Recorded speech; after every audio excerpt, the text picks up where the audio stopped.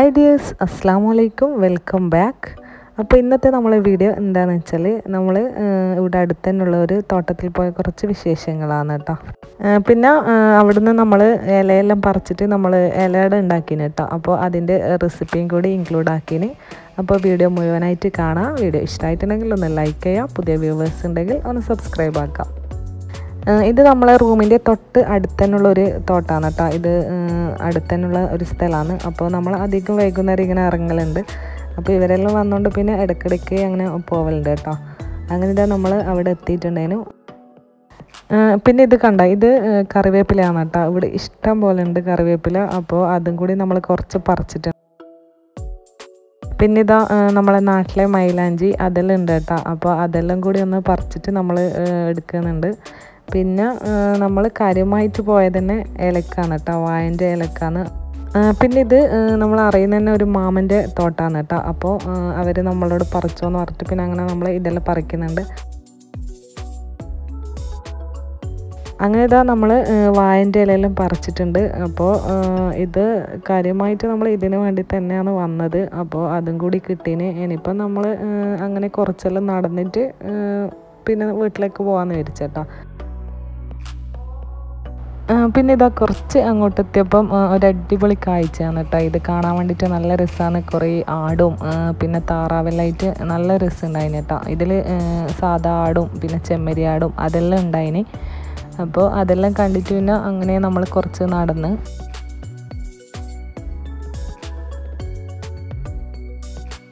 ശരിക്കും പറഞ്ഞാൽ നമുക്ക് ഈ ഒരു സ്ഥലത്ത് വന്നു കഴിഞ്ഞാൽ നാട്ടിലെവിടെയോ പോയൊരു ഫീലാണ്. അപ്പോൾ അതുകൊണ്ട് നമ്മളിങ്ങനെ ഇടയ്ക്കിടയ്ക്ക് ഇങ്ങനെ വൈകുന്നേരം ആവുന്ന സമയത്തെല്ലാം നടക്കാൻ വരുന്നുണ്ട്. അപ്പം നമ്മൾ അന്ന് പിന്നെ ലേറ്റ് ആയതുകൊണ്ട് തന്നെ വേഗം റൂമിലേക്ക് പോയിട്ടുണ്ടായിന് അപ്പോൾ മഗ്രിബിന്റെ ടൈമെല്ലാം ആയിന് കേട്ടോ. നമ്മൾ റൂമിലെത്തുന്ന സമയത്ത്. അങ്ങനെ ഇതാ ഇപ്പോൾ നമ്മൾ റൂമിലെല്ലാം എത്തിന്. ഇനിയിപ്പോൾ നമ്മൾ അവിടുന്ന് പറിച്ചിട്ടുണ്ടായ മൈലാഞ്ചിയില്ലേ അതെല്ലാം ഒന്ന് അടർത്തിയിട്ട് വെക്കുന്നുണ്ട്.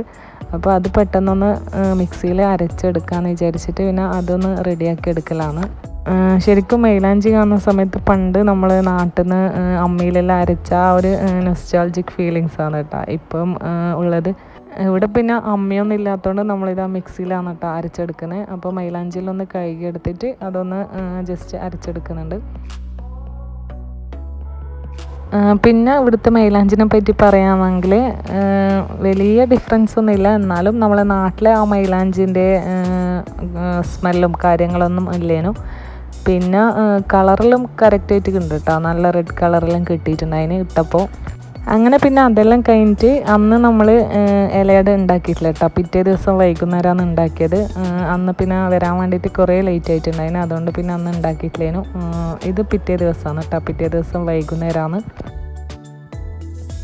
പിന്നെ ഇതാ ഇത് കണ്ട. ഇതാണ് കേട്ടോ മൈലാഞ്ചിന്റെ കളറ്. നല്ല കളർ ഇട്ടിട്ടുണ്ടായിന്. അപ്പോൾ ഞാൻ ഇട്ടിട്ടില്ലേനു കേട്ടോ. ഞാൻ പിന്നെ വേറൊരു ദിവസമാണ് ഇട്ടത്. അത് ആമയാണ് കേട്ടോ ഇട്ടത്. അപ്പോൾ നമ്മളിത് ഇലയുടെ ഉണ്ടാക്കാൻ വേണ്ടിയിട്ട് വായന്റെ കഴുകി എടുക്കലാണ്. പിന്നെ ഈ ഒരു സ്നാക്ക് എല്ലാവർക്കും അറിയുന്ന ഒരു സ്നാക്കായിരിക്കും എന്നാലും നമ്മൾ ഏതായാലും ഉണ്ടാക്കുന്നുണ്ടല്ലോ. അപ്പോൾ ഇതിന്റെ റെസിപ്പി കൂടി ഷെയർ ആക്കാമെന്ന് വിചാരിച്ചിട്ട് അങ്ങനെ ഷൂട്ട് ചെയ്ത വീഡിയോ ആണ് കേട്ടോ.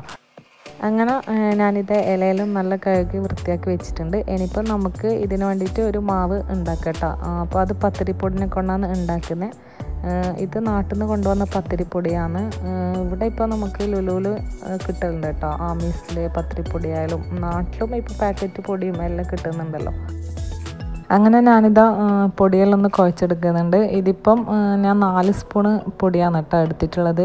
ഇതിപ്പം കുറച്ചധികം ഉണ്ടാക്കുന്നതുകൊണ്ട് തന്നെ കുറച്ച് ഞാൻ അധികം എടുത്തേന്ന് നിങ്ങൾക്ക് കുറച്ച് ക്വാണ്ടിറ്റി കുറച്ചിട്ടാണ് വേണ്ടെങ്കിൽ ഇതിന്റെ പകുതിയെല്ലാം എടുത്താൽ മതി. ഇനിയിപ്പോൾ അതിലേക്ക് ആവശ്യത്തിന് ഉപ്പും ചേർത്തിട്ട് നന്നായിട്ടൊന്ന് കുഴച്ചെടുക്കുക കേട്ടോ. ഞാൻ പച്ചവെള്ളത്തിൽ തന്നെയാണ് കുഴച്ചത്. നമ്മൾ ഒറോട്ടിക്കലും കുഴക്കുന്നില്ലേ? ആ ഒരു രൂപത്തിൽ തന്നെയാണ് കേട്ടോ ഇതിനും കൂടിയിട്ട് കുഴച്ചെടുക്കേണ്ടത്. ഇനിയിപ്പോൾ ഇതാ അടക്ക് വേണ്ടിയിട്ടുള്ള ഫില്ലിംഗ് ആണ് റെഡിയാക്കി എടുക്കുന്നത് ഞാനിപ്പോൾ ശർക്കരയിലാണ് കേട്ടോ ഉണ്ടാക്കിയെടുക്കുന്നത്. അപ്പോൾ ഒരു പാക്കറ്റ് ശർക്കര എടുത്തിട്ടുണ്ട്. അതിൽ നിന്ന് ഞാനൊരു മൂന്നാൽ പീസാണ് എടുത്തത് അപ്പോൾ അതും കൂടി എടുത്തിട്ട് ഒന്ന് നന്നായിട്ടൊന്ന് പൊടിച്ചെടുക്കാം കേട്ടോ. ഈ ഒരു ഫില്ലിങ് നമ്മൾ പഞ്ചസാര വെച്ചിട്ടും റെഡിയാക്കലുണ്ട് അപ്പോൾ ഞാൻ ശർക്കര വെച്ചിട്ടാണ് ഉണ്ടാക്കുന്നത്. പഞ്ചസാര വെച്ചിട്ടായാലും നല്ല ടേസ്റ്റാണ് ഇപ്പോൾ ഞാനിതാ ശർക്കര നല്ലോണം ഒന്ന് പൊടിച്ചെടുക്കുന്നുണ്ട് കേട്ടോ. ഇതിപ്പോൾ ഇങ്ങനെ ചെയ്ത് കഴിഞ്ഞാൽ നമുക്ക് പെട്ടെന്ന് തന്നെ മെൽട്ടായിട്ട് കിട്ടും.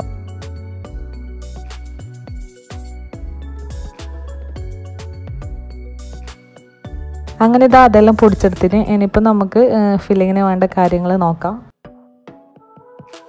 നമുക്ക് ഒരു പാൻ വെക്കാം. പാൻ വെച്ചിട്ട് അതിലേക്ക് ആവശ്യത്തിന് വെള്ളം ഒഴിച്ചു കൊടുക്കുക കേട്ടോ. കുറേ അധികമൊന്നും വേണ്ട. അതിന്റെ അളവ് നോക്കിയിട്ട് തന്നെ ഒഴിച്ചു കൊടുക്കുക എന്നിട്ട് അതിലേക്ക് ഞാൻ ശർക്കരയാണ് കേട്ടോ ഇട്ട് കൊടുക്കുന്നത്. നമ്മൾ പൊടിച്ച് വെച്ചിട്ടില്ലേ ആ ഒരു ശർക്കര ഇട്ട് കൊടുത്തിട്ട് നന്നായിട്ടൊന്ന് മെൽട്ടാക്കി എടുക്കുക ഏഹ്, ഇതിപ്പോൾ ശർക്കര ഇങ്ങനെ പൊടിച്ചോണ്ട് തന്നെ പെട്ടെന്ന് തന്നെ മെൽട്ടായിട്ട് കിട്ടും കേട്ടോ. നമ്മൾ ഇങ്ങനെ ഫുള്ളായിട്ടാണ് അത് ഇട്ട് കൊടുക്കുന്നുണ്ടെങ്കിൽ കുറേ അധികം സമയം വേണ്ടി വരും.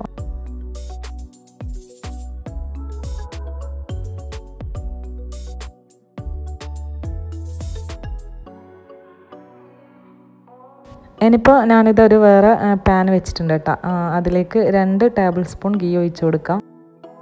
ഇതിൽ ഗീ തന്നെ ഒഴിച്ചു കൊടുക്കണം കേട്ടോ. അതാണ് അതിന്റെ ടേസ്റ്റ് വെളിച്ചെണ്ണയിൽ ഒഴിച്ച് കഴിഞ്ഞാൽ അതിന്റെ ആ ഒരു ടേസ്റ്റ് മാറും. അപ്പോൾ ഗീ തന്നെ ഒഴിച്ചു കൊടുക്കാം. ഇനി നമ്മൾ അതിലേക്ക് ഇട്ട് കൊടുക്കുന്നത് തേങ്ങയാണ്. അപ്പോൾ ഞാൻ ഒരു കപ്പ് തേങ്ങയാണ് ഇപ്പോൾ എടുത്തിട്ടുള്ളത് അത് നല്ലോണം ഒന്ന് ഫ്രൈ ആക്കി എടുക്കാം. അപ്പോൾ തേങ്ങയിലൊന്ന് ഫ്രൈ ആയിട്ട് വന്നു കഴിഞ്ഞാൽ നമ്മൾ ഉണ്ടാക്കിയ ശർക്കര പാനിയില്ലേ അത് ഇതിലേക്ക് ഒഴിച്ചു കൊടുക്കാം. പിന്നെ ഒരു കാൽ ടീസ്പൂൺ ഏലക്കപ്പൊടിയും കൂടി ഇട്ട് കൊടുത്തിട്ട് നല്ലോണം ഒന്ന് മിക്സ് ആക്കി എടുക്കാം കേട്ടോ ഇതിന്റെ പാനി ഒന്ന് വറ്റി വരുന്നവരെ നമ്മൾ നല്ലോണം ഒന്ന് മിക്സ് ആക്കി എടുക്കാം. അങ്ങനെ ഇതാ നമ്മളെ അടന്റെ ഫില്ലിങ്ങിൽ റെഡിയായി അടിപൊളി ടേസ്റ്റാണ് കേട്ടോ ഈ ഒരു ഫില്ലിങ് ഇനിയിപ്പം നമുക്ക് അട റെഡിയാക്കി എടുക്കാം. അപ്പോൾ നമ്മൾ നേരത്തെ കഴുകി വെച്ച ഇല എടുക്കാം. അപ്പോൾ നമ്മൾ കുഴച്ച് വെച്ച മാവിന്ന് ഒരു ഉരുള എടുത്തിട്ട് കയ്യിലിങ്ങനെ ഉരുട്ടിയെടുക്കുക എന്നിട്ട് ഇതേപോലെ പരത്തിയെടുക്കുക കേട്ടോ നമ്മൾ ഒറോട്ടിക്കെല്ലാം പരത്തുന്നില്ലേ ആ ഒരു ഷേപ്പിൽ തന്നെ പരത്തിയെടുക്കുക എന്നിട്ട് അതിന്റെ സെൻട്രലായിട്ട് നമ്മൾ ഉണ്ടാക്കി വെച്ച ഫില്ലിങ് ഒന്ന് വെച്ച് കൊടുക്കുക കേട്ടോ അപ്പോൾ ഇതാ ഫില്ലിങ്ങിലും വെച്ചിന്. ഇനിയിപ്പോൾ നമുക്ക് ഈ ഒരു രൂപത്തിൽ തന്നെ മടക്കിയെടുക്കുക മടക്കിയെടുത്തിട്ട് ഒന്ന് പ്രസ്സാക്കി കൊടുക്കുക അപ്പോൾ ഇത്രേ പണികളും കേട്ടോ. ഈസിയാണ് ഇത് ഉണ്ടാക്കാൻ വേണ്ടിയിട്ട്. ആ, വാഴന്റെ ഇലയിലുണ്ടെങ്കിൽ നമുക്ക് പെട്ടെന്ന് തന്നെ ഇത് ഉണ്ടാക്കിയെടുക്കാം. ഈസി ആയിട്ട് തന്നെ ഉണ്ടാക്കിയെടുക്കാൻ പറ്റുന്ന ഒരു സ്നാക്കാണിത്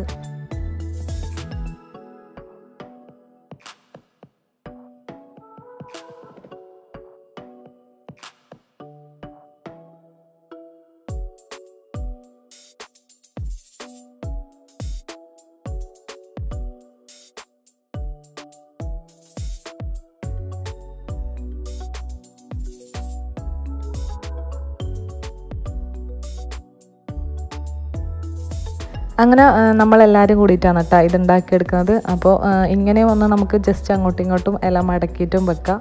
ഇനിയിപ്പം നമുക്ക് ഒരു ഇഡ്ഡലി പാത്രം കൊടുക്കുക എന്നിട്ട് നമ്മൾ ഉണ്ടാക്കി വെച്ച അടയിൽ അതെല്ലാം ഇതിലേക്ക് എടുത്ത് വെച്ച് കൊടുക്കുക കേട്ടോ എന്നിട്ട് മൂടി വെച്ചിട്ട് ഒരു പതിനഞ്ച് മിനിറ്റ് കൊണ്ട് നമുക്ക് ഇത് റെഡിയാക്കി എടുക്കാം.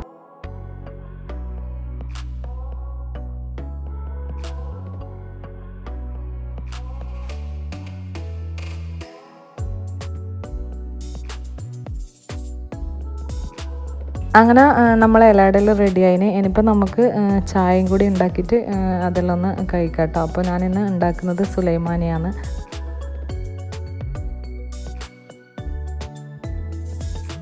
അപ്പോൾ ഇതാണ് കേട്ടോ ഇന്നത്തെ എന്റെ വീഡിയോ.